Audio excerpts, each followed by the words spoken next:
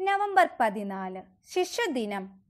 ഇന്ത്യയുടെ ആദ്യത്തെ പ്രധാനമന്ത്രിയായിരുന്ന ജവഹർലാൽ നെഹ്റുവിന്റെ ജന്മദിനമാണന്ന് ആയിരത്തി തൊള്ളായിരത്തി അറുപത്തിനാലിൽ നെഹ്റുവിന്റെ മരണശേഷമാണ് നവംബർ പതിനാല് ശിശുദിനമായി ആഘോഷിച്ചു തുടങ്ങിയത്.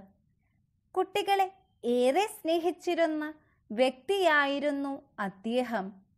സ്നേഹപൂർവം എല്ലാവരും അദ്ദേഹത്തെ ചാച്ചാജി എന്ന് വിളിച്ചു. കുട്ടികളോട് ഇടപഴകാനും കുട്ടികൾക്ക് വേണ്ടി എഴുതുവാനും അദ്ദേഹം സമയം കണ്ടെത്തിയിരുന്നു. കുട്ടികളുടെ വിദ്യാഭ്യാസത്തെക്കുറിച്ച് വളരെ ശക്തമായി വാദിച്ചിരുന്ന ഒരാൾ കൂടിയായിരുന്നു ജവഹർലാൽ നെഹ്റു. ആധുനിക ഇന്ത്യയുടെ ശില്പി എന്നാണ് അദ്ദേഹം അറിയപ്പെട്ടിരുന്നത്. ബാലവേലയും കുട്ടികൾക്കെതിരായ അതിക്രമങ്ങളും ഇല്ലാത്ത ഇന്ത്യയാണ് അദ്ദേഹം സ്വപ്നം കണ്ടിരുന്നത്.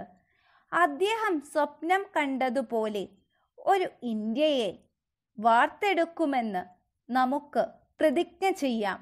എല്ലാവർക്കും ശിശുദിന ആശംസകൾ.